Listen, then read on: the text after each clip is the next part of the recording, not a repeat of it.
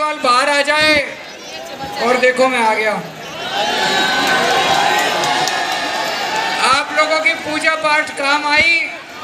मैं अपनी सारी माताओं, बहनों का शुक्रिया अदा करना चाहता हूँ, जिन्होंने मेरे लिए पूजा करी।